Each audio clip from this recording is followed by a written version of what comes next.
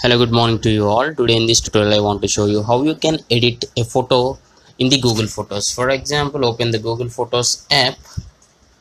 See this is my photos app and choose a photo. For example this one.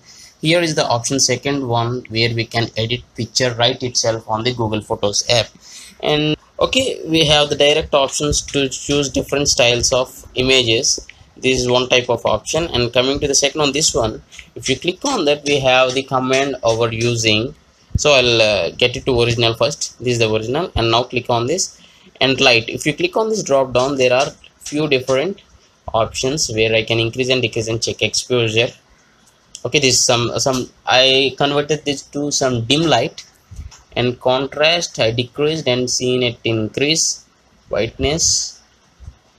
Okay highlights.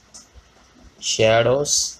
See by shadows by decreasing and increasing we can see the drastic change on the pictures. Uh, the dress color became very dark here.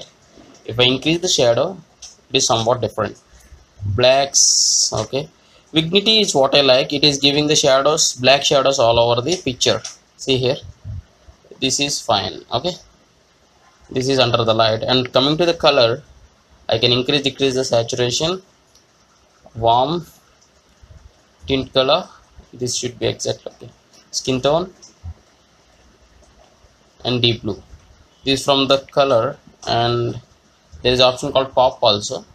It is giving a distortion type of uh, effect. To the picture see here. Okay this is how you can edit your photos and click on save copy to save the file. This is the modified file of your original and save it on the google photos. I hope you like this. And this is crop. Or no this is rotation actually. We can rotate the picture. We can also rotate the picture and decrease uh, decrease decrease. And done.